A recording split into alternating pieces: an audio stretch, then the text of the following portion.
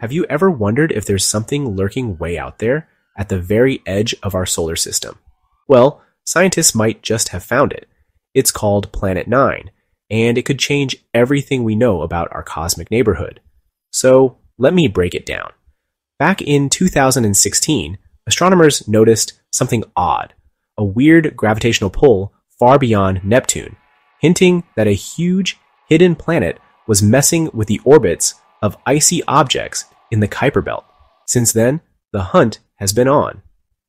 Now, an international team from Taiwan, Japan, and Australia has been digging through an incredible 40 years of space probe data.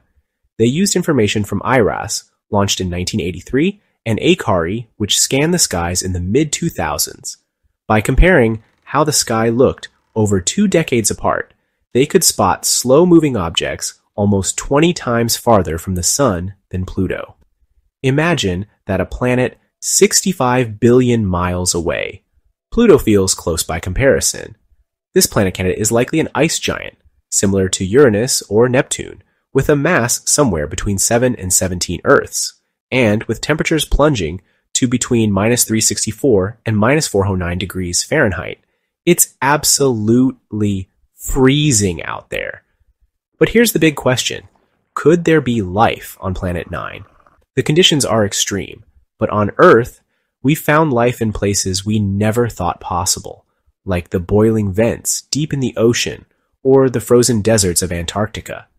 These hardy creatures are called extremophiles, and if anything's alive on Planet 9, it would probably be a super extremophile, thriving far below the surface, maybe near a heat source, deep inside the planet.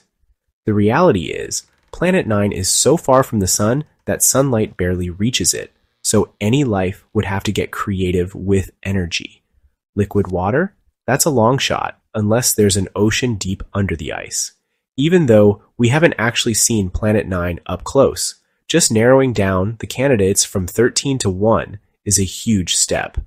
If we can prove it's real, it would help explain why objects in the Kuiper Belt tilt and move together, and why our solar system doesn't have a super Earth like so many other star systems.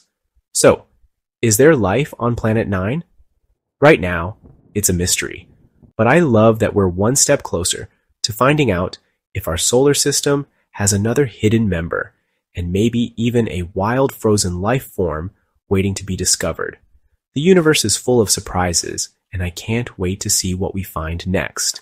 Thanks for watching, and keep looking up.